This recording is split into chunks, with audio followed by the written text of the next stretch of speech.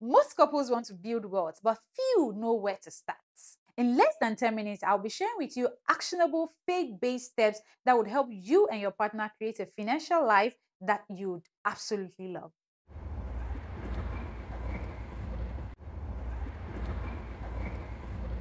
Building wealth as a couple can feel overwhelming, but it doesn't have to be.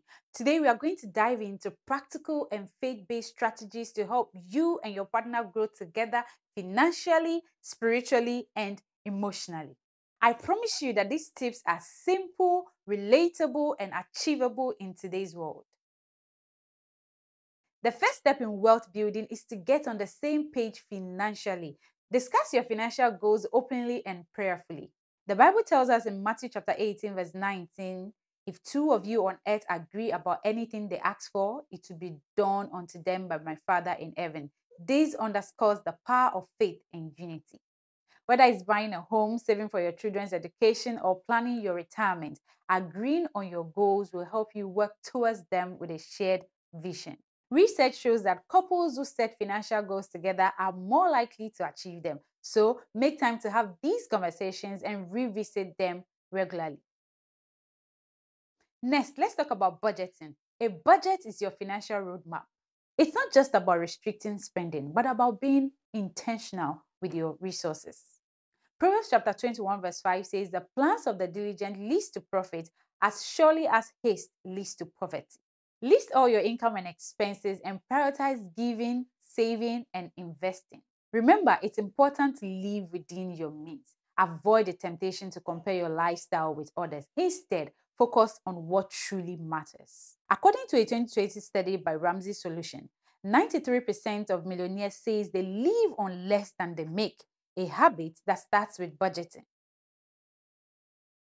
Malachi 3.10 reminds us, bring the whole tithe into the storehouse that there may be food in my house. Test me with this, says the Almighty, and see if I will not throw open the floodgates of heaven and pour out so much blessing that there will not be room to store it. Tithing or giving 10% of your income is a fundamental principle in the Christian faith. It is an act of obedience and trust in God's provision.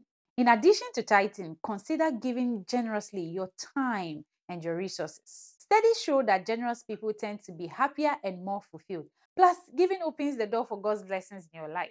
Luke 6:38 says, Give and it shall be given unto you. A good measure, pressed down, shaken together, and running over will be poured into your lap. While giving is essential, so is saving and investing. Proverbs 21:20 says, The wise store up choice foods and olive oil, but the fools gulps theirs down. Start by building an emergency fund with at least three to six months worth of expenses. This will protect you against unexpected financial hardships. Once your emergency funding is in place, look into investing.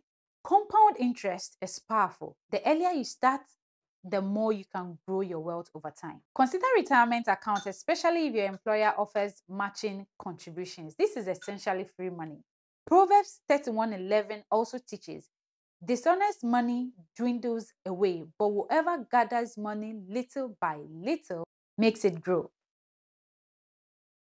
One of the biggest challenges in any marriage is communication, especially about money. Be transparent with each other. Ephesians chapter 4, verse 25 reminds us Therefore, each of you must put off falsehood and speak truthfully to your neighbor, for we are all members of one body. Share your financial struggles and successes and work together to solve problems. Avoid keeping secrets about spending or debts as this can erode trust. Regularly pray about your finances. Ask God for wisdom, guidance, and unity in your finances. Couple who pray together find that they are more in sync and better equipped to handle financial stress. Finally, plan for the future. Proverbs 16:3 advises commit to the Lord whatever you do, and it would establish your plans. These include planning for your children's education, your retirement, and even creating a will to protect your loved ones. Seek professional advice when needed, and always, always keep your long term goals in mind. Remember, the future is uncertain, but when you plan and trust in God, you can face it with confidence and peace. As we wrap up, let's take a moment to pray. Heavenly Father, we thank you for the gift of partnership and the opportunity to build a future together.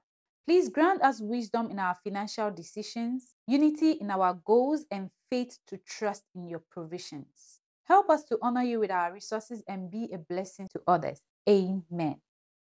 I hope you realize that building wealth is not just about accumulating money, it's about creating a life that reflects God's blessing and purpose. Thank you for watching, and I hope that these strategies inspire you to take the next step in your financial journey as a couple. If you found this video helpful, please like, share, and subscribe to my channel for more faith based content. You know, I like to share the word of God with you. So this week, I'm leaving you with this word from the book of Ecclesiastes, chapter 4, from verse 9 to 10. And it says, Two are better than one because they have a good return for their labor. If either of them falls down, one can help the other up. But pity anyone who falls and has no one to help them up. This verse highlights the importance of partnership and mutual support, emphasizing how working together can lead to greater successes and stability both in finance and in life. Until next time, stay blessed and stay united.